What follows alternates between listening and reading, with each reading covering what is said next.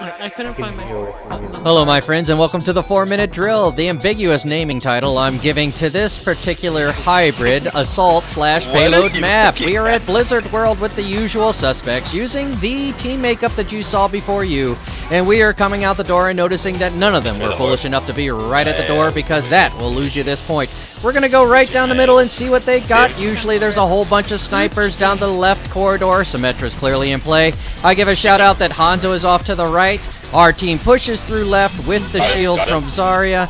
There was no sniper. Things are going all right. They're going left. I'm going to circle right so that the healers were theoretically separate. I can feel Reaper behind me, so I give the shout out as I'm dying.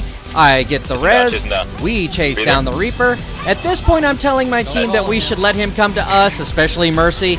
But, you know, we're going to go ahead and deal with him now. D.Va dives some Junkrat guys, and excuse me, we get up on the point. I see Symmetra coming out of the Fargodeep, and I suggest we look for the teleporter. Roadhog's going in to check for that, while Zarya's holding the main point. The Gorilla's on point, and I'm beating up the Gorilla. He jumps off of me to get on the Mercy. One presumes to stop the res. There's no apparent teleporter in the Fargodeep mine, but taking the point, make sure that there isn't now. Regrouping and getting ready for the push. Either way, their teleporter's gone now, so we're good. As we come around the corner, I throw a little healing orb out onto my teammates in front of me. Because nobody is in between, or that is to say, no wall is between uh, the teammates and I, I can't tell that they're yellow, meaning they need healing. Hog. All Hog. right, so we're coming down the corridor, and I'm looking to my left just to make sure. And look what I found. There's Monkey. I give the shout out. I let them know Oh, they're left on payload, and we jump back and we take care of the Winston. Now that Winston's down, we can refocus our efforts on going down and around the corner using the payload as a nice. shield. Hanzo gets orbed and put down. Nice. We then put an orb and put down on the other target. We, I advise my teammates not to chase too hard whilst putting a orb we're good, we're of disharmony on 76. pop him. That will encourage him to not stick his head out. Maybe get him back there until we can finish up his team teammate in the pylon terrace and then jump over there and take care of him. Yep. Give the shout out to remind my team to look out for Symmetra turrets Nice, nice. because Symmetra was still in play. You can see her shield coming down. Got you, I'm I got my teammates. We probably could have gotten through this it, without the Zenyatta ult there. But I'd drop. rather have all my teammates out in the fight still instead of kind of spread out, so that's Nice, what we nice did. double.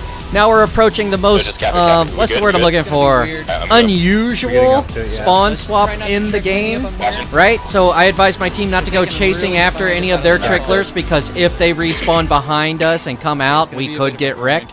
We take care of it. Things are under Yes, yes. control. So now I'm letting them know that we are going to have to be careful with whatever comes out, and out comes one person. We take care of them, and now we're regrouping back onto the payload. We're good, Here we're good, we we're go. The other team Their teams are. has left, and this is unfortunate because there was a player we thought was doing quite well, at least positionally, was falling back to they're you know key regroup spots. But this four stack, I believe, decided to leave. Uh, unfortunate for the other team, but sometimes them's the breaks. It happens to me when I'm solo queuing. Sometimes entire groups will leave. You know, maybe there's a maybe it was me disconnecting. Who knows? Anyways, all ults are starting to pop. The one guy who stuck around was the Winston, knocking us around. I give the shout out so my teammates know not to get too crazy ahead since Missed my hook. Winston is on the back line with the healers. But they've cleaned up the front. We've taken care of the back. We slide into the final point. Our Mercy Valkyries. I get up on top and emote, I'm pretty sure. Yep, because I like to emote. And ladies and gentlemen, that is a four minute drill. I don't believe we lost any time getting through the door and onto the point. It couldn't happen very much faster. I'm sure there's some math that some tracer will go out and tell me about, but uh, leave a comment below if you've done faster. DS9 Protector, you're hogging all the play of the games this month. We're going to have to scrub you from the top 15. Just kidding, Tell homie. me you're recording that. I was recording that.